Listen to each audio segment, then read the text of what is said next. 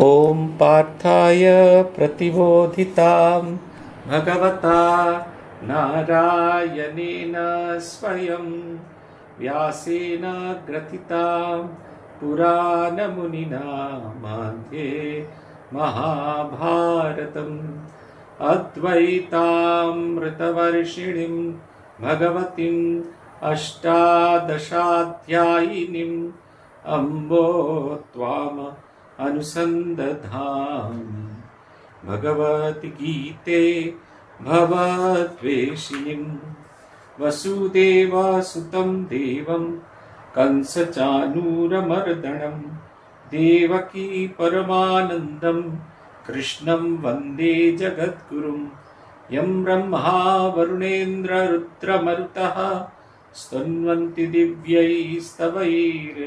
दिव्यैस्तवैर्वेदैः साङ्गपदक्रमोपनिषदैर्गायन्ति यं सामगाः ध्यानावस्थितत्तद्गतेन मनसा पश्यन्ति यं योगिनो यस्यां तं न विदुः সুরাসুরগণা দেবায় তস্মৈ নমঃ শ্রী ভগবানের অশেষ কৃপায় আবার আমরা সমবেত হয়েছি শ্রীমৎ ভগবত গীতা থেকে পাঠ এবং আলোচনার উদ্দেশ্য নিয়ে আমরা পুরুষোত্তম যোগ পঞ্চদশ অধ্যায় পড়ছি আমরা শেষ করেছিলাম যে শ্লোক দিয়ে পঞ্চম পঞ্চম শ্লোক নির্মাণ মোহাজিত সঙ্গ দোষা অধ্যাত্ম নিত্যা বিনিবৃত্ত কামা দ্বন্দ্বৈর বিমুক্তা সুখ দুঃখ সঙ্গৈর গচ্ছন্তে মূঢ়া পদমভয়ম তৎ বলছেন যার এই অহংকার এবং মোহ দূর হয়েছে। যারা সংসারের আসক্তি থেকে মুক্ত, যারা আত্মজ্ঞানে নিষ্ঠাযুক্ত, বাসনাবর্জিত সুখ দুঃখ এই যে দ্বন্দ্ব, তার থেকে নির্মুক্ত, সেইরূপ স্থির, শান্ত অজ্ঞান শূন্য বিবেক সম্পন্ন ব্যক্তিগণ সেই অব্যয় পরমপদ প্রাপ্ত হয়। আমরা বিগত দিন বলেছিলাম, যেটা একটা সিরিজ, দেখুন। বলছেন, নির্মাণ মোহা জিত সঙ্গ দোষা প্রথম কি কি ছেড়ে দিতে হয়? সেটা হচ্ছে, এই যে আমরা আলোচনা করছিলাম, আত্ম অভিমান আমার আমিত্ববোধ, এইটাকে প্রথমে পরিত্যাগ করতে হয়।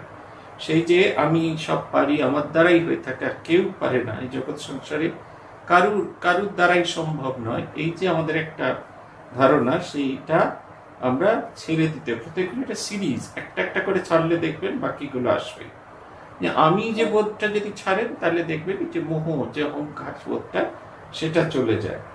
আর যখন এইটা চলে যায়, মোহটা যদি চলে যায়, দেখবেন সংসারের প্রতি আসক্তি, যে আমাদের একটা ভাবনা, চিন্তা, আমি ছাড়া জগৎটা চলবে না, আমি ছাড়া কোনো কিছু হবে না। এটা হচ্ছে কথা। সেদিনকে একটা সম্মেলনে গেছিলাম, এই দক্ষিণ চব্বিশ পরগনা প্রধান শিক্ষকদের সম্মেলন। দক্ষিণ চব্বিশ পরগনা যত স্কুল আছে তার প্রধান শিক্ষক যারা ছিলেন, যারা এখন আছেন, তাদের নিয়ে সম্মেলন। সেইখানে যারা অর্গানাইজিং সেক্রেটারি এবং অ্যাসিস্ট্যান্ট সেক্রেটারি দুজনই, স্বামী স্ত্রী এবং দুজনই দুটো স্কুলের আগে প্রধান শিক্ষক, প্রধান শিক্ষিকারা ছিলেন। একটা সময় তারা খুব ডান্ডা ঘুরিয়েছেন, কারোর কিছু বলার ছিল না। কিন্তু একটা এখন সময় এসে গেছে, এখন আর প্রায় আর সেই জিনিসগুলো আর চলছে না। ফলে সব কিছু আমরাই করব, আর কেউ এগিয়ে আসবে না। ধীরে ধীরে ধীরে ধীরে সবাই ছেড়ে চলে গেছে। আমরা যখন গেছি, সম্মেলনে এক গাদা রাজনৈতিক নেতাদের ডাকা হয়েছে, তার সঙ্গে আমাদেরও ডাকা হয়েছে। কিন্তু সেই সম্মেলন শুরু করা যাচ্ছে না, কারণ কাজ করার লোক নেই। দুটো মানুষ একটা গোটা সম্মেলন সব কাজ করতে পারে চেয়ার পাতা থেকে আরম্ভ করে, টেবিল পাতা, স্টেজ সাজানো, ফুলের তোড়া দেওয়া, সম্মেলনের ব্যাচ পড়ানো, সবটা একটা লোকের দিয়ে সম্ভব নয়। কোনোভাবেই সম্ভব না। একেবারে মেস হয়ে গেল। কিন্তু এইটা যদি আমরা ভাবি যে আমার যতদিন করার ছিল আমি করলাম, আমরা অন্যের হাতের ব্যাটনটা তুলে দিই। তাহলে দেখবেন সবসময় পরবর্তী প্রজন্ম এসে যাবে। এবং এইটাই যে অন্যের হাতে ব্যাটন তুলে দেওয়া, একেবারে যে আমাদের জাগতিক ভাষায় ব্যাটনটা তুলে দেওয়া, এটাই কিন্তু এই সঙ্গ মানে ইয়ের প্রতি ভালোবাসা, এই সংসারের প্রতি যে ভালোবাসা, তার থেকে বেরিয়ে আসা আসক্তি মুক্ত হওয়া। এবং আসক্তি মুক্ত হলেই আমরা তখন তো খোঁজ করব, মন তো কিছুতেই ছাড়ে না। একটা খারাপ জিনিসকে যেমন বর্জন করেছি, ভালো জিনিস কিছু দিয়ে তো মনটা ভরাতে হবে। এই ভালো জিনিসটা তখন এই ভগবান হয়ে ওঠে। তখন আমরা যত ভগবানের দিকে এগোতে থাকি, তত আমরা এই আত্মজ্ঞানী নিষ্ঠায় তখন প্রশ্ন হতে পারে, আমি কে? আমি কি শুধু এই শরীরটা? আমি কি শুধুমাত্র এই মানুষটা যাকে লোকেই চেনে? না, আমার একটা আলো সত্তা আছে। এবং তত আমরা যত করতে থাকব এই বাসনা বর্জন করতে হবে। ওই যে ঠাকুর বলছেন না যে নিত্যানিত্য বস্তু বিচার। এই বস্তু বিচারটা অটোমেটিক্যালি আসে। বস্তু বিচার খুব সহজে আসে। যদি আপনারা হাসপাতালে যান মাঝে মাঝে শ্মশান অব্দিও যেতে হবে না। মাঝে মাঝে হাসপাতালে যাবেন, তাহলে দেখবেন বস্তু বিচার আসবে। কি আপনার সঙ্গে যাবে আর কি আপনার সঙ্গে যাবে না, এটা কিন্তু ভাবতে হবে। এই হাসপাতালে থাকাকালীন একজন ভদ্রলোক ভর্তি হয়েছিলেন, দেখেছিলাম। তিনি একটি একটি বিয়ে করেছিলেন সর্বসমক্ষে সবাই জানে। আর আরেকটি বিয়ে যেখানে ওনার ডেকোরেটর ব্যবসা ছিল আমার এখনও মনে আছে, সেই তার দোকান ব্যবসা যেখানে খুব সম্ভবত কৃষ্ণনগরের কাছে, সেইখানে তিনি আরেকটা বিয়ে করেছিলেন। এবং সেই স্ত্রীরও ছেলে মেয়ে আছে, আবার কলকাতাতেও তার ছেলে মেয়ে সব আছে। দুটো প্যারালালি দুটো ফ্যামিলি চলছে, অথচ কেউ জানে না। ইনিও ওনার অস্তিত্বের কথা জানেন না, দ্বিতীয় স্ত্রী প্রথম স্ত্রী অস্তিত্বের কথা জানে যখন জানাজানি হয়ে গেল, তখন তার থেকে পালানোর চেষ্টা। দুজনে মিলে দুজনেই একসঙ্গে একজোট হয়ে ভদ্রলোককে খুব করে পিটাই দিলেন। ভদ্রলোক তার থেকে পালাতে গিয়ে সে আত্মহত্যা করেছিলেন। অনেক রকমের বিষ টিস খেয়েছিলেন। যেদিন প্রথম দিনকে পৌঁছলাম, ছটফট ছটফট করছেন। ওয়াশ করা হয়েছে, কিন্তু এত জ্বালা, ছটফট করছেন। বেঁধে রাখা আছে। কিন্তু সে বোধহয় দড়ি সমস্ত ছিঁড়ে যাবে, এরকম অবস্থা। পরের দিন যখন গিয়ে দেখলাম, তখন তিনি খুব শান্ত হয়ে গেছেন, কিন্তু মাথাটা খারাপ হয়ে গেছেন। নিজের জীবনের যে স্বাভাবিকত্ব, তা দাম দিয়ে এই নিজের জীবনের অস্বাভাবিক জিনিসটাকে ঠিকঠাক করাতে গেলেন।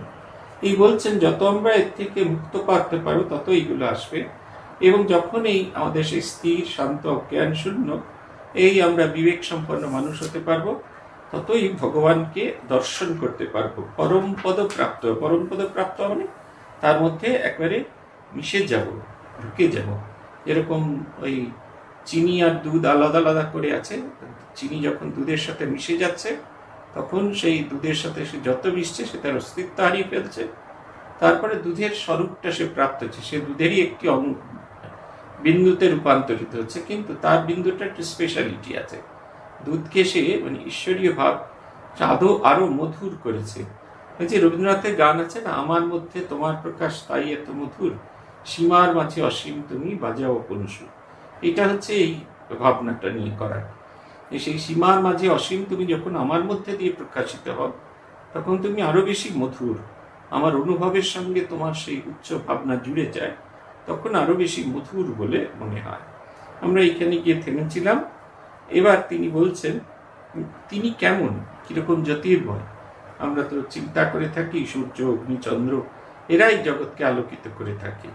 কিন্তু তার জ্যোতিটা কীরকম তিনি বলছেন, না তৎভাসয়তে সূর্য না শশাঙ্ক, না পাবক ইয়দ্গত্বা না নিবর্তন্তে তদ্ধাম পরমম মম বলছেন যে যে পরমপদ প্রাপ্ত হলে, সেই পরম পুরুষকে যখন আমরা অনুভব করতে পারি, তখন কি হয়?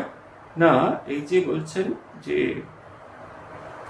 বলছেন তাকে এই যখন আমি হয়, তখন ন নিবর্তন্তে ন নিবর্তন্তে কথাটার অর্থ হচ্ছে, এই যে আসা যাওয়াটা, এই যে পৃথিবীতে বারবার আসা যাওয়াটা, এই আসা যাওয়াটা থেকে আমি একেবারে আমরা এর থেকে একেবারে মুক্ত হয়ে যাই।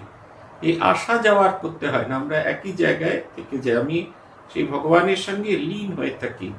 আমি তার থেকে বিচ্ছিন্ন বলি তো বারবার আমাকে ফিরে আসতে হচ্ছে। মানে সূক্ষ্ম শরীরে আমরা তো এই স্থূল শরীরটা নিয়ে অন্য লোকে প্রবেশ করি না। এই সূক্ষ্ম শরীরটা নিয়ে প্রবেশ করি। এই সূক্ষ্ম শরীরে কর্মফল অনুযায়ী ভোগ করে আবার নতুন শরীর ধারণ করি এবং সেই নতুন শরীরে এই পূর্ব শরীরের সংস্কারটিকে বহন করে নিয়ে যায় দেখবেন, পাঁচ বছরের ছেলে অসাধারণ তবলা বাজাচ্ছে, তিন বছরের ছেলে গান গাইছে ন বছরের ছেলে গানের সুর দিচ্ছে। এগুলো সব পূর্ব পূর্ব সংস্কার। ক্ষীণে পূর্ণে মর্ত লোকে বিশান্তি সুচিনাম শ্রীমতাম গেহে যোগভ্রষ্ট বিচারিতি যোগভ্রষ্ট যে, যার যেখানে সেই স্কিল যতটা করা হয়েছিল, যেখান থেকে সে করে উঠতে পারেনি, যেখানে সে থেমে গেছে পরবর্তী জন্মেতে, সেইখান থেকে তার শুরু হয়েছে। এটা আমাদের সকলের ক্ষেত্রে প্রযোজ্য। কিন্তু আমাদের এই সুকৃতিটা এত কম আছে যে আমরা অনুভব করতে পারি না। দুষ্কৃতি দিয়েই শুরু হয়, আবার দুষ্কৃতিকে অতিক্রম করে সুকৃতিকে পাওয়ার চেষ্টা।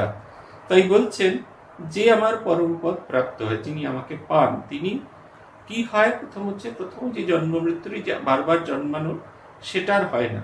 আমি যদি দুধের সাথে মিশে যাই, তাহলে আমি দুধই হয়ে যাব। তো ঠাকুর উদাহরণ দিচ্ছে নুনের পুতুল সমুদ্রের গভীরতা ভাবতে গেছিল, সমুদ্রের চলে সে তার সত্তা হারিয়ে ফেলল। সে সমুদ্রেরই একটা অংশ হয়ে গেল। আর তার আলাদা করে তার আর কোনো রকম কোনো সত্তা থাকল না। তার আর কোনো রকম অন্যরকম থাকে না। বলছেন, কীরকম জ্যোতির্ময় সূর্য, চন্দ্র? তখন সে অনুভব করে নতৎভাসয়তে সূর্য, ন শশাঙ্ক, ন পাবক, অগ্নি, সূর্য, চন্দ্র। এই যে জ্যোতির্ময় অগ্নি কি করে? একটা বিশেষ জায়গাকে আলোকিত করে। চন্দ্রমা অন্ধকার রাত্রে পৃথিবীকে খানিকটা আলোকিত করে। সূর্য কি করে? এই ধরাধামকে সম্পূর্ণ আলোকিত করে। সূর্যকে বলা হয় কর্মদায়িনী। কর্মদায়িনী কেন? না, যিনি আছেন বলে এই জগৎটি আলোকিত এবং জগতের যাবতীয় কিছু কাজ হয়ে চলেছে। সূর্য যদি চলে যায়, তাহলে জগতের কোনো রকম কাজ হয় না। আমাদের এখানে একজন দিদিমণি এসেছিলেন। দিদিমণি, দাদামণি দুজনই নরওয়ে থেকে এসেছিলেন। ওরা বলছিলেন যে ছমাস সূর্য তীব্র, ছমাস একবারে অন্ধকার। বলছেন, সূর্য সূর্য যখন তীব্র, তখন ভীষণ রকমের একটা ডিপ্রেশন হতে থাকে। আবার যখন সূর্য নেই, সেটাও একটা খুব ডিপ্রেশন সূর্য এত আলো আর সহ্য করা যাচ্ছে না। মোটা মোটা পর্দা দিয়ে জানলা, টানলা সব ঢেকে রাখতে হয়, নাহলে রাত্রিরে ঘুম আসে না। বলছেন, তাও যেন ঘরটি আলোকিত হয়ে থাকে। বলছেন, তবু সেটা সহ্য করা যায়। রাত্রির অন্ধকার সে করে মুড অফ করে দেয়। ওরা যখন ফিরে গেলেন, তখন অন্ধকারের সময় ছ মাসের যে অন্ধকার সেই সময়টা আমাদের একটা ভিডিও তুলে পাঠিয়েছিলেন। সেই ভিডিওতে উনি ওনার ল্যাবে যাচ্ছেন ওটা স্বামী স্ত্রী দুজনেই বিজ্ঞানী। ল্যাবে যাচ্ছেন। দেখে মনে হচ্ছে রাত্রিরের আমাদের কলকাতা যেরকম হয় ঠিক সেরকম। রাস্তায় আলো চলছে বাস টাসে আলো চলছে প্রত্যেকের ঘর বাড়িতে আলো জ্বলছে। কিন্তু আদতে ওটা দিনের বেলা, সকাল দশটা কুড়ি। তার ল্যাবে যাচ্ছেন, তাকে এগারোটার মধ্যে ল্যাবে পৌঁছতে হবে। আমি দেখে অবাক। তাহলে দেখুন, আমাদের এই যে আলো দেওয়ার ক্ষমতা টু সাম এক্সটেন্ট একটা জায়গা অব্দি লিমিটেড কিন্তু যখন তাঁর আলো আমাদের ভেতরে প্রকাশিত হয়, তখন ভেতরে বাইরে আলোকিত হয়ে যায়। আপনারা যারা আপনাদের গুরুদের দেখেছেন, দেখবেন অদ্ভুত একটা জ্যোতি, আপনার ভেতরেও জ্যোতি আছে তাঁদের ভেতরে একটা অদ্ভুত জ্যোতি, একটা আনন্দময় সত্তা। এই যে মায়ের ধ্যান মন্ত্রে বলা আছে না, ধ্যায় চিত্ত সরোজস্থাম সুখাসিনম কৃপামন প্রসন্ন বদনাম দেবী, দ্বিভুজাম স্থির লোচন এই যে প্রসন্ন কথাটা যে শব্দটি ব্যবহার করা আছে, এইটা হচ্ছে ওই আলোর প্রকাশ। মায়ের দিকে তাকিয়ে দেখবেন মা হি হি করে হাসছেন। ইদানিং অনেক রকম মিম বেরিয়েছে। তাতে মা হাসছেন, মায়ের দাঁত বেরিয়ে আছে মা এদিকে তাকাচ্ছেন, ওদিকে তাকাচ্ছেন। কিন্তু সেটা দেখে আমাদের আনন্দ হয় না। কেন হয় না? কারণ মায়ের যে মুখখানা, তার মধ্যে প্রসন্নতা প্রসন্নতা সবসময় হাসি দিয়ে প্রত হয় না। তিনি আমার প্রতি, তিনি খুব খুশি হয়েছেন। তার সেই অন্তর্নিহিত প্রশান্ততা, প্রসন্নতা তার মুখ দিয়ে ছড়িয়ে পড়ছে। সে মুখের দিকে তাকালে যে প্রসন্নতা এটা হচ্ছে এই আলোটা এমন, সে আলো, সূর্য আলোকিত করছে, চন্দ্র আলোকিত করছে, কিন্তু তার ভিতরে একটা যেন অহংকার আছে যে আমি এই জায়গাটাকে আলোকিত করছি। আমি না থাকলে এটা অনালোকিত হয়ে থাকবে। কিন্তু এক এমন এক আলো যে আলোর অস্তিত্ব আছে, অথচ আলোর জ্যোতি আছে অত সে আলোর ভিতরে এমন এক স্নিগ্ধতা আছে যে সে আলো আমার, আমাকে যেমন শান্ত করছে, আমার চতুর্দিকটাকে আলোকিত করে রেখেছে। শ্রীরামকৃষ্ণ সম্পর্কে বর্ণনা আছে, তিনি যখন এসে পৌঁছলেন রাজেন্দ্র মিত্রের বাড়িতে, গাড়ি থেকে নেমেছেন, তার মুখখানে যেন শরৎ পূর্ণিমার চাঁদের মতো মনে হচ্ছে। সূর্যের মতো নয়, কেন শরৎ পূর্ণিমার চাঁদের মতো? স্নিগ্ধ। চাঁদের আলো কীরকম হয়? খুব স্নিগ্ধ। শরৎ পূর্ণিমা, দেবের কোজাগরী লক্ষ্মী পূজা কীরকম একটা সিল্কি, ঝরে ঝরে পড়ছে, গলে গলে পড়ছে। মনে যেন সমস্ত কিছু যেন কোনো একটা এক পাত্র থেকে আরেক পাত্রে কিছু একটা সিল্কের যে কাপড় যেন নামিয়ে দেওয়া সিল্কের কাপড় যখন সেই আমরা দোকানে দেখি যেরকম, ঠিক সেই রকম। রং যেন, জ্যোতি যেন এরকম ভাবে ঝরে পড়ছে। এইটার কথা বলছেন। না তৎ ভাই সয়েতি সূর্য, না শশাঙ্ক, না পাবক, মদগত, ইয়দ্গত্বা, না নিবর্তন্তে। তদ্ধামো পরমম মোহ মমৈবাংশো জীবলোকে জীবভূত সনাতন মনষষ্ঠানিন্দ্রিয়ানি প্রকৃতিস্থানি কর্ষতি মম এব অর্থাৎ আমার অর্থাৎ আমার সেই পরমেশ্বর স্বরূপ এটি কেমন? সনাতন, চিরন্তন। পুরাকালে যে সাধন করেছে, সে আমাকে এইভাবে পেয়েছে। বর্তমানেও যে সে আমাকে সাধন করেছে, সে আমাকে এইভাবে পেয়েছে। ভবিষ্যতেও যে সাধন করবে একটা এমন একটা আধ্যাত্মিক প্রবাহ, যুগে যুগে তার একই রকম একই রকম তার প্রকাশ আছে। আপনারা ভেবে দেখুন, যারা তীব্র সাধন ভজন করেছেন, রাজা মহারাজের কথা, তারা যারা শ্রীরামকৃষ্ণের সঙ্গে থেকেছেন, যারা শ্রীরামকৃষ্ণের পরিকর হয়ে থেকেছেন, তারা তার সেই আলো যেরকম নিজেদের জীবনের মধ্যে ফোটাতে পেরেছেন তারপরে সেকেন্ড জেনারেশন যারা অবতারের পার্শ্বদকে দেখেছেন তাদের ভেতরের আলো দিয়ে তারা শ্রীরামকৃষ্ণকে দেখার চেষ্টা করেছেন তারপরের জেনারেশন যারা সেই আলোকে দেখার সুযোগ পাননি, অথচ সেই আলোর যে অন্য আলোর জ্যোতি সেটাকে দেখেছেন তাই দিয়ে সাধন করেছেন, তারা নিজের ভেতরেও সেই আলোকে খুঁজে পেয়েছেন। তাই বলছেন, মমই মাংস জীবলোকে জীবভূত সনাতনম, মম এব সনাতনম চিরন্তন অংশ। জীবভূত প্রকৃতি স্থানী মনষ্ষ্ঠান ইন্দ্রিয়ানি কর্ষতি কিন্তু এই জীব হচ্ছে আমারই একটি অংশ আমি যে চিরন্তন শক্তি তাহলে হচ্ছে জীব একটা আমার একটা অংশ দেখুন একটা দর্শনের কথা আপনাদের বলি মাস্টারমশাই চলে এই ঠাকুর চলেছেন ঝাউতলায় হৃদয়রাম পেছন পেছন চলেছেন তার সেই লণ্ঠনটা হাতে নিয়ে।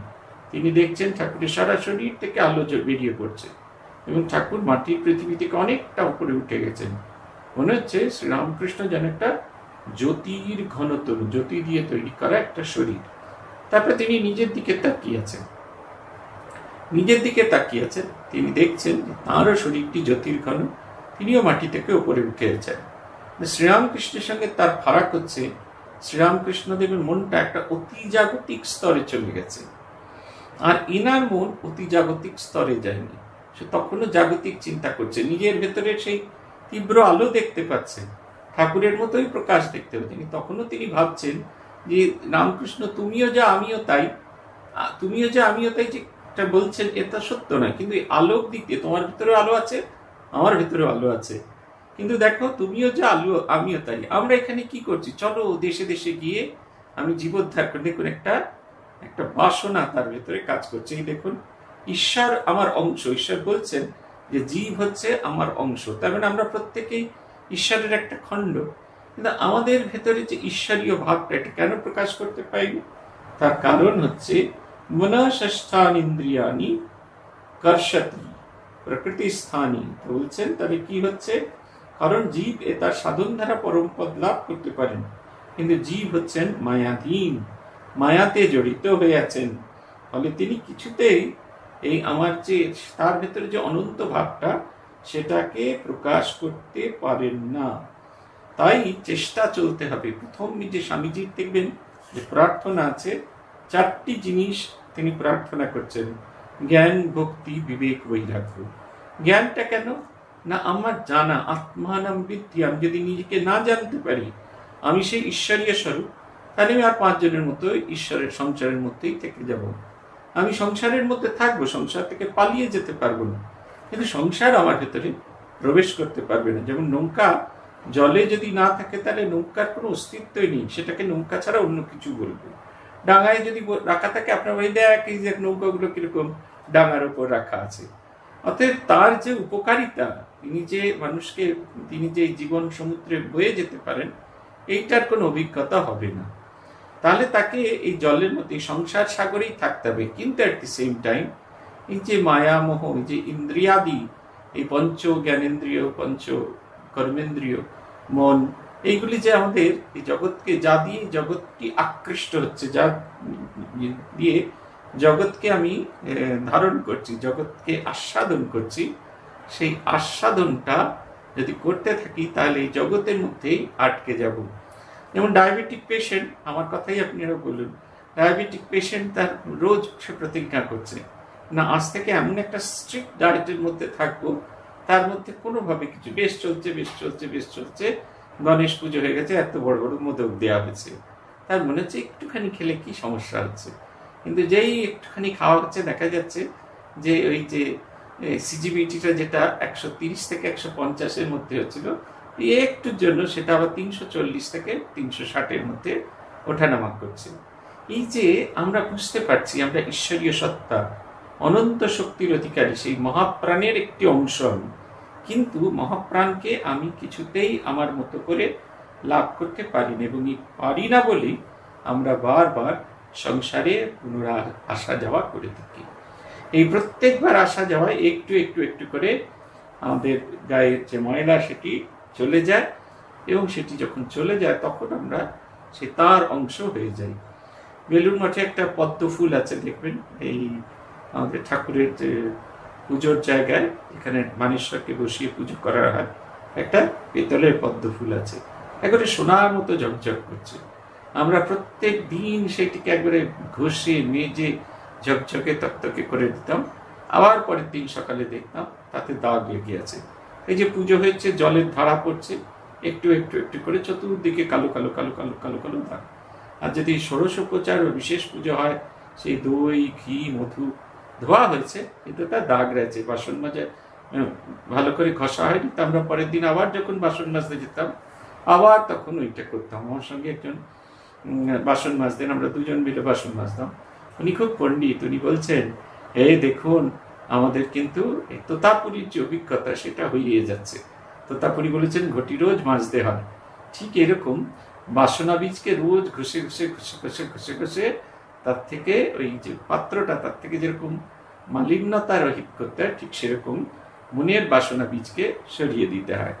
শরীরম যদবাপ্নোতি ইয়াচ্চাপ্যুৎক্রামতীশ্বর গৃহীত্বৈতানি সংজ্ঞাতি বা নিবাসয়ত বলছেন ঈশ্বর ইয়চ্চাপ ক্রাম ঈশ্বর ঈশ্বর তিনি এই যে জীবাত্মা দেহি জীবাত্মায় যখন ঈশ্বরের যখন প্রকাশ দুটি আছে একটি জীবাত্মা আর একটি পরমাত্মা যে যার প্রকাশ আমার শরীরের ভেতরে হয় ইয়ৎ শরীরম উৎক্রামন্তি যখন সে জীবাত্মা এই শরীর ত্যাগ করে যায় ইয়াচ্চা আপি অবাপনতি এবং তারা যখন শরীরকে ছেড়ে অন্য দেহ গ্রহণ করে তদা বায়ু আশায়ত গন্ধান ইবা এতানি গৃহীত্বা সংজ্ঞাতি আপনি রজনীগন্ধা একটা ফুলের দোকানে ফুল বিক্রি হচ্ছে।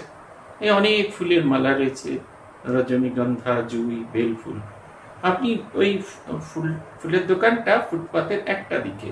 আর আপনি ফুটপাতের এপাশে দাঁড়িয়েছেন অটো স্ট্যান্ডে, অটোতে উঠবেন বলে। অথচ আপনি ওই দূরে দাঁড়িয়ে দাঁড়িয়ে অটো স্ট্যান্ডে দাঁড়িয়ে দাঁড়িয়ে এই বেল, জুঁই এগুলোর গন্ধ পাচ্ছেন। ভীষণ রকমের গন্ধ পাচ্ছেন। কি করে গন্ধ পাচ্ছেন? না, ওই ফুলের গা দিয়ে যে বায়ু বয়ে যাচ্ছে, সে সেই গন্ধটা বহন করে নিয়ে যাচ্ছে। সেই কারণে বায়ুর অন্য নাম হচ্ছে গন্ধ বহ তা সেই গন্ধটাকে বয়ে সে নিয়ে আসে আমার কাছে আসে। ঠিক সেই রকম যখন এই জীবাত্মা এই শরীরকে ত্যাগ করে নতুন শরীরকে ধারণ করে, ঠিক যেরকম গন্ধ, বায়ু গন্ধকে বয়ে নিয়ে যায় ফুলের ভেতর থেকে, ঠিক সেই রকম এও এই যে জন্মে যা কিছু কর্ম আছে, সেইগুলোকে ঠিক সেরকম ভাবে বহন করে নতুন শরীর ধারণ করে। এই কারণেই বলছেন যে আমাদের এই পঞ্চ জ্ঞানেন্দ্রিয় পঞ্চকর্মেন্দ্রিয়, পঞ্চপ্রাণ, মন বুদ্ধি, অবয়ব, এই সতেরোটি অবয়ব নিয়ে অহম এটি সূক্ষ্ম দেহ যে তৈরি হয়েছে সেটিকে সম্পর্কে আমাদের একটুখানি, একটু কনসিয়াস থাকা দরকার। আমরা কি হয় আমরা কনসিয়াস হতে পারি না। আমরা ভগবানকে ডাকি, কিন্তু কেন ভগবানকে ডাকছি? কি প্রয়োজন? আমি যদি আরও বেশি করে ডাকি, কেমন করে আমি এটা পেরিয়ে যেতে পারব? আমার যে অবস্থা, তার থেকে যে আমাদের এই বলা হয় না, সাধন ভজন খুব সিরিয়াসনেস দরকার। আমরা খাবলা খাবলি করি। আজকে শাস্ত্রের এই খানিকটা, শাস্ত্রের ওটা, শাস্ত্রের এটা শাস্ত্রের এটা। শ্রীরামকৃষ্ণদেব তার জীবন দিয়ে দেখিয়ে দিয়ে গেছেন। মা স্বামীজি তো অনেক দূরের কথা। মা স্বামীজির দিকে তাকালে খুব মুশকিল। কারণ মায়ের মতো আমরা হতেই পারব না। ওইরকম সমস্ত কিছুর মধ্যে, সব ঝামেলার মধ্যে থেকেও মনটিকে, ভগবানের দিকে দিয়ে যাওয়া ওটা ছেড়েই দিন। ওটা মা স্বামীজির, এটা আমরা ধরবারই চেষ্টা করছি না। একেবারে সর্বোৎকৃষ্ট আদর্শ, তিনি হলেন ঠাকুর। ঠাকুরকে ভাবার দিকার চেষ্টা করুন। দেখুন কি সুন্দর। যখনই তিনি নেমে যাচ্ছেন, আবার তিনি যেন আমাদের জন্য ওঠাচ্ছেন, আমাদের জন্য, আমাদের মতো যেন সাধারণভাবে ভাবছে ভাবছেন। মাস্টারমশাই নরেন্দ্রনাথ তারা সাধারণ বিষয় আলোচনা করছেন। ঠাকুর তাকে এসে ধমক দিচ্ছেন। বলছেন, এরকম ঈশ্বরীয় স্থানে এসে অন্যরকম কথা বলে যে একটা কনসিয়াসনেস একটা অ্যালার্টনেস আমাদের মধ্যে জাগিয়ে দিচ্ছেন। সাধারণ ভজনের ক্ষেত্রে এই অ্যালার্টনেসটা যদি না জাগে তাহলে কিন্তু হবে না। বহু সময় আমাদের ভেতরে অ্যালার্টনেসটা এত তীব্রভাবে থাকে, সেটা খুব বেশি মেকানিক্যাল হয়ে যায়। আমি কোনো ধর্ম সম্প্রদায়ের সমালোচনা করছি না, কিন্তু খ্রিশ্চান চার্চগুলোতে গিয়ে দেখবেন এত এত নিয়ম, এত এত এত রকমের যে প্রসিডিওর সেইগুলো করতে গিয়ে ধর্মের যে নির্যাস, সেটা অনেক সময় হারিয়ে যায়, নষ্ট হয়ে যায়। এই এতবার করে মাথা নোয়াতে হবে, এই করতে হবে। এই যে ধর্মের যে নির্যাস, এটা একবারে সম্পূর্ণভাবে হারিয়ে যায়। আমাদের হিন্দু ধর্মের আমি প্রেইজ করছি না, কিন্তু এটা একটা স্পেশাল বৈশিষ্ট্য। আপনি আপনার মনের যেরকম গতি, সেই অনুযায়ী আপনি আপনার ঈশ্বরকে চয়ন করতে পারেন এবং সেই অনুযায়ী সাধন করে সেই ঈশ্বরীয় সত্তাকে প্রাপ্ত করতে পারেন। এই এতখানি ওপেননেস এতখানি ওয়াইডনেস এতখানি উদারতা এই ধর্ম আমাদের দিচ্ছেন। আমাদের সেটা ব্যবহার করতে হবে, সেইটাকে আমাদের জীবনে প্রয়োগ করতে হবে। আমরা যদি আমাদের জীবনে প্রয়োগ করতে না পারি, তাহলে তার চেয়ে দুঃখের, তার চেয়ে বেদনা আর অন্য কোনো কিছু হতে পারে না। তাই বলছেন যদি আমাদের এই যে এই যে যখন আমাদের ভেতরে, আমার ভেতরে ঈশ্বর বিরাজ করছেন, এবং আমি যদি এই যে টাইম লিমিট টাইম স্প্যান পেয়েছি, আমি জানি না টাইম স্প্যানটা কত এই যে টাইম স্প্যানটা পেয়েছি, তাতে যদি আমি আমার জীবনকে উচ্চ মার্গে না নিয়ে যেতে পারি, তাহলে কি হবে? এই জীবনটা একটা সময় শেষ হয়ে যাবে। আবার আরেকটা নতুন শরীর ধারণ করতে হবে। আর যা যা বদগুণ যেগুলো আছে, অবশিষ্ট আছে, সেই গাটরি মটরি সমস্ত কিছু গুছিয়ে গাছিয়ে নিয়ে আবার পরের শরীরে যেতে হবে। যেরকম আপনি যখন এই বেড়াতে যান, আগেকার দিনে ছিল না, লুচি, আলুর তরকারি করে নিয়ে যাওয়া যেত তারপরে ভীমনাগের মিষ্টি গাঙ্গরামের সন্দেশ। প্রথম দিন রাত্রিরে যখন খেলেন, তখন মায়েরা হাত খুব টাইট করে দিতেন। না না, কালকে কি পাওয়া যাবে তার ঠিক ঠিকানা নেই। পরের দিন সকালে যখন ব্রেকফাস্ট দেওয়া হতো, তখন একটু লুজ হতো। তারপরে বেলায় সাথে, বাবু, আরেকটা সন্দেশ খাবি? বাবু, আর দুটো লুচির মধ্যে দিয়ে সন্দেশ খা। এ দেখবেন এই আমাদের সবার মোটামুটি সকালেরই অভিজ্ঞতা হয়েছে। তখন একটা যেন একটা খুব হারিডনেস থাকে। যে এই জিনিসগুলো আর বয়ে নিয়ে যেতে হবে। নতুন যে জায়গায় যাব, এই ট্রেনের খাবারগুলোকে একটু কাজে লাগবে না। তারপরে আরও একটা সহজ পদ্ধতি আছে, যারা ঝাঁট টাট দিতে আসে, তাদের সমস্ত দিয়ে আমরা নির্ভার হয়ে যাওয়া। যদিও ঘটনাটা ওরকম, কিন্তু যদি আমাদের জীবনটাকে আমরা দেখি, তাহলে দেখবেন ওই রকম আমরা জানি না আমাদের জার্নি কখন শেষ হয়ে যাবে। তাই খিদে থাকতে থাকতে পেট, লুচি, আলুর দম মিষ্টি দিয়ে ভরিয়ে ফেলতে হবে। যাতে পরের দিন ওই টাইটনেসটা আবার ইয়ে না থাকে। ওই যে প্রয়োগটা জানতে হবে। এবং যত আমাদের জীবনে আমরা অ্যালার্টনেস হব, প্রত্যেক দিনের দিনটা যত বেশি করে আমরা ই করতে পারব, কাজে লাগাতে পারব, তত দেখবেন যখন পরবর্তী আমার যদি এই জন্মটা নাও হলো, প্রথম তো আমাদের একটাই লক্ষ্য থাকবে যেন আর কোনোদিন জন্ম না হয়। যেন আমি ঈশ্বরের সত্তাকে প্রাপ্ত হয়ে ঈশ্বরময় হয়ে যাই। আমার আর দ্বিতীয় রকম কোনো জন্ম হবে না। এটা তো আমাদের একমাত্র ওয়ান অ্যান্ড অনলি আমাদের যেন প্রার্থনা থাকে। কিন্তু যদি তাও না হলো, যে পরবর্তী জন্মে যে শরীরটাকে, সে সূক্ষ্ম শরীর যে বয়ে নিয়ে যাবে নতুন শরীরে it should be much more purified আরও বেশি ভালো, খুব সূক্ষ্ম, ভালো জিনিসগুলো যেন আমরা নিয়ে যেতে পারি। আমরা খারাপটাকে বর্জন করে ভালো নিয়ে, দেখেন না? আগেকার দিনে যে কৌটো, মৌটো এসব খাবার দাবার নিয়ে যেতেন কৌটো, মৌটোগুলো কিন্তু ফেলতেন না। খুব দামি জিনিস, কত কষ্ট করে চারটে প্যান্টের বদলে একটা স্টিলের কৌটো কিনেছে এটাকে ট্রেনে ফেলে যাওয়া যায়। কিন্তু যে কৌটোর ভেতরে আলুর দম লুচি আছে, ওগুলোকে আমরা তাড়াতাড়ি করে ডিসপোজ করার চেষ্টা করতাম। তারপর ট্রেনে গিয়ে তাড়াতাড়ি করে কৌটো টৌটো ধুয়ে সেই ঘটরি মটরি ওই ভালো জিনিসটাকে নিয়ে আপনি পরের জায়গায় যাচ্ছেন, দেওঘর যাচ্ছেন, যে সিটিতে নেমেছেন, ফিরে আসবার পথে কৌটো ভর্তি করে পেঁড়া নিয়ে আসবেন, খেলির মা, বুচির মা, পুচির মা সবাইকে দিয়ে। এই যে পরের যে যাত্রাটা হবে সেটা যেন যে আমার কৌটোটা একটা ফাঁকা থাকে, আর তাতে যেন শুধু ভালো গুণগুলো আমি করতে পারি। শ্রোত্রম চক্ষু স্পর্শনম চ রসনম ঘ্রাণবীব চ, অধিষ্ঠায় মনশ্চায়ম মনশ্চায়ম বিষয়ানুপসেবতে। আয়ম আয়ম মানে হচ্ছে জীবাত্মা। জীবাত্মাকে মানে জীবাত্মা যে আমার দেহে অবস্থান করে। আমার পঞ্চ জ্ঞানেন্দ্রিয় পঞ্চ কর্মেন্দ্রিয় পঞ্চ প্রাণ অন্তঃকরণ, মনোবুদ্ধি, চিত্ত অহংকার এই যে যাবতীয় যে ভোগের যন্ত্রকে আশ্রয় করে যে জীবাত্মা এটা অয়ম শব্দের অর্থ আমি আমি মানে এই এই জীবাত্মা। শ্রোত্রম চক্ষু স্পর্শনঞ্চ। কানের দ্বারা চোখের দ্বারা এবং স্পর্শের দ্বারা। রসনম ঘ্রাণ ইবচ মুখের স্বাদের দ্বারা, ঘ্রাণের দ্বারা। মন দিয়ে আশ্রয়পূর্বক এই বিষয়কে উপসেবন করে, বিষয়কে ভোগ করতে থাকে। কেন আমি পাই না? তার কারণ হচ্ছে, আমি যাওয়া মাত্রই এইগুলো সব ভোগ করতে থাকি।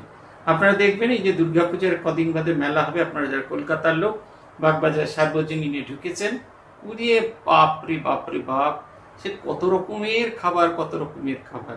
আমি দু হাজার চোদ্দ সালে একবারই গেছিলাম। আমার ছেলেবেলায় ছেড়ে আসার, বাড়ি ছেড়ে আসার পরে একবারই বাগবাজার সার্বজনীন। তাই বিকেলবেলা হাঁ করে তাকিয়ে দেখছি, আমাদের সময় কটার দোকান হতো।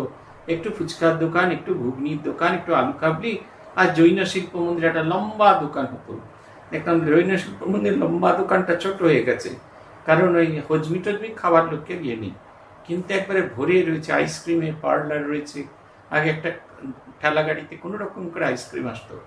এই দেখুন, আমি যদি অ্যালার্ট না হতে পারি, তাহলে কিন্তু প্রতি মুহূর্তে প্রতি মুহূর্তে আমার এই যে জীবাত্মা ঈশ্বরের অংশ হয়েও শুধুমাত্র ভোগ করতে থাকবে, শুধুমাত্র ভোগের ভেতরে ডুবে থাকবে।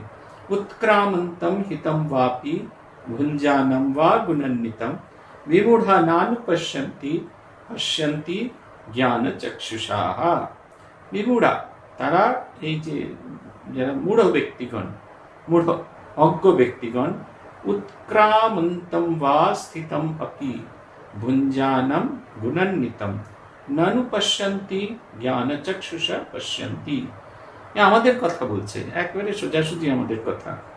আমরা যারা বিমূঢ়া, অজ্ঞ, আমরা যারা অবিবেকী, আমরা যারা ভগবানকে চাই না, এই অবিভাবিক অবিবেক জীবকগণ কি করে?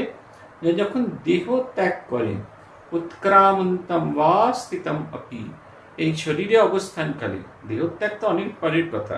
এই যখন শরীরে অবস্থানকালে অথবা যখন শরীর ত্যাগ করে নতুন একটা বিষয় যায়, যখন আমরা ভোগ করতে থাকি, যখন খাবার দাবার দেখতে থাকি, তাতে শুধুমাত্র আমরা তার গুণগুলোকে বিষয় ভোগ করি। না, রান্নাটা দারুণ হয়েছে।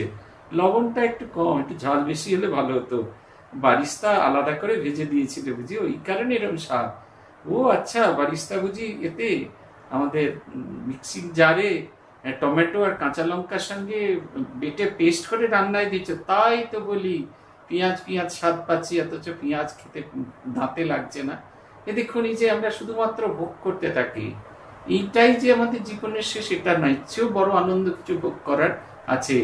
সুরেন্দরকে ঠাকুর বলছেন না ঠাকুর, এই সুরেন্দর তুমি মদ খাও, তাতে কোনো ক্ষতি নেই। কিন্তু মাকে নিবেদন করে খাও। দেখুন বিষয় ভোগ থেকে কীভাবে ভজন আনন্দ, বিষয় আনন্দ থেকে কি করে ভজন আনন্দে নিয়ে যাচ্ছেন? এবং ভজন আনন্দ থেকে সেই ভজন আনন্দ আমাদের ব্রহ্মানন্দে উত্তীর্ণ করবেন। এ দেখুন স্তর বিন্যাস বদল হয়ে যাচ্ছে। আমরা কখনো এগুলোকে চিন্তা করি না। একটা চকলেট এনে দিলাম, এসে বললাম, বাবা, তুমি চুপচাপ করে, চটপট করে খেয়ে প্যাকেটটা ফেলে দাও। দাদা দিদিরা যারা আছে, তাদের সঙ্গে কখনো ভাগ করো না। দেখুন, আমরা আমাদের সন্তানদের এই ভোগ করতে শেখাচ্ছি। সে একেবারে সেই বাবা দরজা পাহারা দিচ্ছেন বা মা দরজা পাহারা দিচ্ছেন, সে ফাইভ স্টারের প্যাকেট টাকলে কচম কচম, না, সে স্বাদ নিতে পারছে। সে কোনো রকমে সে গলা গলা দিয়ে নেমে গেলে তার কোনো স্বাদ নেই। অথচ আমরা এটাই যদি শেখাতাম যে যাও গিয়ে অন্যের সঙ্গে এই আনন্দটা ভাগ করে নাও। এই যে আনন্দটা যখন ভাগ করতে থাকি, তখন আমাদের মনের একটু একটু একটু করে প্রসারণ হতে থাকে। হয়তো আমি ফাইভ স্টারের একটা টুকরোই পাবো, কিন্তু এই ফাইভ স্টারের আরও যে পাঁচ, চারটে টুকরো হয়েছে, অন্যদের সঙ্গে ভাগ করতে করতে আমার মনের যে বিভাজিত মনটা, সেটা আরও বড় হয়ে যাবে। একই আনন্দে যখন সবাই, দাদা, দিদি, খুকা, খুকু, সবাই মিলে যখন আনন্দ করছে, তার সঙ্গে আমার আনন্দটা সংযুক্ত হয়ে যাবে। বিষয় ভোগের ওপর কোনো রকম ইয়ে করছে না, কোনো রকম পাবন্দি বা কোনো কিছু করছে না। করলে ভগবানের মাথা আমরা ভেঙে দিতাম। কিন্তু যেটাও বলছে যে আমরা কখনোই ওইটা দেখতে পাই না। কারা দেখতে পান? জ্ঞান চক্ষুষ পশ্যন্তি। যাদের জ্ঞান চক্ষু বা দিব্য চক্ষু প্রকাশিত হয়েছে। দেখুন, দুজনের লোক দুরকম জিনিস এ করছেন। ঠাকুরের বর্ণনায় আছে একদল লোক আম খেয়ে নিচে চলে যায়। আর আরেক দল লোক আম খাওয়ার পরে মানুষজনকে দেখায়। মানুষজনকে ডাকিয়ে দেখো এখানে আম আছে। একজন কাজ করল, সেই কাজ শেষ হয়ে গেলে ঝুড়ি বালতি ওইখানেই ফেলে দিয়ে গেল। আরেকজন, সেই ঝুড়ি কোদাল, কাজ শেষ হয়ে গেলে সেগুলো গুছিয়ে আলাদা করে রেখে যায়। পরে যারা আসবে, তারা যাতে কোনো ফ্যাসাদে না পড়ে, তারা যেন সহজেই কাজটা করতে পারে। দেখুন এই জগৎ সংসারে আমরা দুরকমের লোক সব সময় দেখতে পাই, সব সময় দেখতে পাই। এই আগের দিন সেবা প্রতিষ্ঠান গেছিলাম ওষুধ নিতে। আমাদের যেরকম সাইড দিয়ে ভেতরে ঢুকিয়ে যায়, ওইখানে একজন বলছেন, আপনি ভেতরে ঢুকে যাচ্ছেন না, আমার প্রেসক্রিপশনটাও নিয়ে যান। আমি কেন, কি হবে প্রেসক্রিপশনটা? এখন বলছে, না, আপনাকে তো তাড়াতাড়ি আগে দিয়ে দেবে। হুম, আমারটাও করে দিন। আমি যে এত লোক দাঁড়িয়ে আছে, আপনার কত সাতাশ নম্বর না কত নম্বর? টিকিট দিয়ে দিয়েছে আপনাকে। তাও এরপরে আমি এটা দিয়ে দিলে তো আপনার আগে তেরোর পরে যদি সাতাশকে ডাকে, ওখানে মারপিট হবে না? এই অদ্ভুত একটা আমাদের ব্যাপার। এই দু ধরনের, আমারটা হয়ে গেলেই হলো। আর মুরগি যাবেটা আর যা হয় হোক। এই যে যারা এরকম করে না, তারা সেই দিব্য চক্ষুধারী। মানে সবার ভিতরে প্রকাশ হয়েছে তা নয়, কিন্তু প্রকাশ হওয়া শুরু হয়েছে। সূর্যের আলো যখন পৃথিবীর গায়ে পড়ছে, সব যে আলোকিত হয়েছে তো বটেই। সর্বত্র তীব্র আলো আসেনি, কিন্তু এই জগৎটাকে সে দেখতে পাচ্ছে। ঠিক সেই রকম যার দিব্য চক্ষুর উদয় হতে আরম্ভ করেছে, সে তখন এই যে এই যে জগৎ, যেটা শুধুমাত্র স্বার্থের উপর বিরাজ করছে, তার মধ্যে সে আবৃত থাকে। যতন্ত যোগিনশ্চৈনম পশ্যন্ত্যাত্মন্যবস্থিতম নৈনম পশ্যন্ত চেতস। এটা একটা খুব সুন্দর, এটা আপনারা রোজ করেন, কিন্তু কনসিয়াসলি করেন না। বলছেন যে সাধনায় যতন্ত যতন্ত যোগিনা চ, যারা অত্যন্ত যত্নশীল, যতন্ত, যারা অত্যন্ত যত্নশীল যোগিনাম, আত্মানম আত্মনি অবস্থিতম। নিজের ভেতরে সে আত্মাকে দর্শন করে। কিরম ভাবে দেখেন? না, সাক্ষী স্বরূপ, পশ্যন্তি, সাক্ষী স্বরূপ দেখেন। যতন্ত আপি যত্নশীল হলেও অকৃত আত্মান অচেতস ন ইনম ন পশ্যন্তি যত্নবান হলেও যত্নশীল হলেও যারা অশুদ্ধ চিত্ত অজিতেন্দ্রিয় যারা নিজেদের ইন্দ্রিয়কে সংযত করতে পারে না যারা নিজে একে ধরতে পারে না তারা অচেতস মানে অচেতন অবিবেকীগণ কি করছে কেন করছে কি উদ্দেশ্যে করা উচিত এগুলো নিয়ে যারা ভাবে না তারা কখনোই ভগবানকে দেখতে পায় না। আপনারা দেখবেন একটা এক্সারসাইজ আপনাদের সকলকে করতে বলা হয়। দেখবেন যখন বলা হচ্ছে যে আপনি ধ্যান করছেন, তোমার মুখ যেদিকে, তোমার ইষ্টের মুখও সেদিকে। অর্থাৎ আমি, আমার ইষ্টের সামনে বসে আছে, তার পিছনে আমি। তাহলে তো আমি আমার ইষ্টকে দেখতে পাচ্ছি না, পারব না তো। তাহলে আমাদের যেটা খুব সহজ দেখার সুবিধা হচ্ছে মুখোমুখি বসে দেখা। কিন্তু এই মুখোমুখি বসে দেখাটা আরও সহজ হয়ে যায়। আমার ইষ্টই আমার কাছে আছেন, আর আমি আছি, এখন আমি আছি, আর আমার ইষ্ট আছেন এই আমিকে যদি বার করে নিতে পারি, আমার আমিত্বটা যদি বার করতে পারি, তাহলে এইখানে যেটা অবস্থা ছিল, সেটা শুধু তমিত্ব। তখন শুধুই তাকে আমি লক্ষ্য করতে পারি। আমি যেখান থেকেই দেখি না কেন, সামনে দিয়ে দেখি না কেন, পেছন দিয়ে দেখি না কেন, যেখান দিয়ে দেখি না কেন, তাকে আমি দেখতে পাই। অতএব যে যত্নশীল হবে, সে একটা সময় অনুভব করবে সে আত্মানো আত্মানম আত্মনি অবস্থিতম। তার ভেতরেই সেই পরম পুরুষ বিরাজ করছেন। তিনি সাক্ষী স্বরূপ বিরাজ করছেন। পশ্যন্তি সে দেখতে পাবে।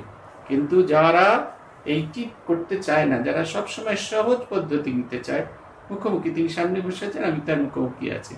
আরে, সামনে থেকে যে চোখ বন্ধ হয়ে যাবে, চলে যাবে। আমি যদি আমার ভিতরে তাকে না বসাতে পারি যখন হেঁটে চলে যাব, তখন সে আমার ভেতরেই সেই পরমাত্মা বিরাজ করছেন এবং পরমাত্মাই আমার সাথে সাথে এগিয়ে যাচ্ছেন।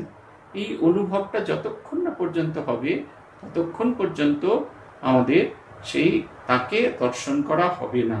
সেই কারণে দুটো জিনিস, তিনটে জিনিস আমাদের ঠিক রাখতে হয়। একটা হচ্ছে চিত্তের মলিনতাকে সরাতে হয়। ইন্দ্রিয় যে সংযম, সেটা করতে হয়। আর অবিবেকী। মানে এই অজ্ঞানের মতো কাজকর্ম করলে হবে না। তার ভিতরে একটা ফার্মনেস থাকা দরকার, উদ্দেশ্য সম্পর্কে কি করতে চাই, এবং এই কাজ যেটা করছি, এটা আমাকে উদ্দেশ্য থেকে অনেক দূরে সরিয়ে নিয়ে যাবে। এই যদি বিচার বোধটা তার ভেতরে না থাকে, তাহলে কিন্তু কেউ এগিয়ে যাবে না। আজ এই পর্যন্ত। শ্রী ভগবানের কৃপা হলে আবার আগামী দিন আমরা এর পরের অংশ থেকে পড়ব। ओं प्रणता नाम प्रसीदत्व देवी विश्वाप्तिहारिणी त्रैलोक्यवासिनामिटे लोकानां वरदा भव ओम शांति ओम शांति ओम शांति। हरि ओम, तत्सत श्री राम कृष्णार्पणमस्तु